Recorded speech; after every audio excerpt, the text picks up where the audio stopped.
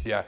Le scansioni oculari possono rilevare i primi segnali d'allarme per determinate condizioni, incluso anche le demenze e il Parkinson.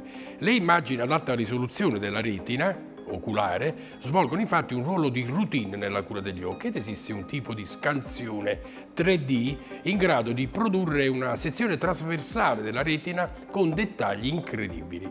I ricercatori di due importanti ospedali di Londra, l'Institute of Ophthalmology ed il Moorfield Eye Hospital, hanno utilizzato l'intelligenza artificiale per rilevare le malattie neurodegenerative che potrebbero eh, potrebbe essere effettuata attraverso un modo non invasivo, a basso costo e più rapidamente. Una scansione oculare quindi potrebbe aiutare a identificare soggetti con Alzheimer, sclerosi multiple persino schizofrenia, ora anche la malattia del Parkinson, fino a sette anni prima della diagnosi, la prima diagnosi. Trovare segni di una serie di malattie prima che emergano i sintomi significa che in futuro le persone potrebbero avere il tempo di apportare modifiche al proprio stile di vita per prevenire l'insorgere di alcune condizioni e i medici potrebbero ritardare l'insorgenza e l'impatto dei disturbi neurodegenerativi.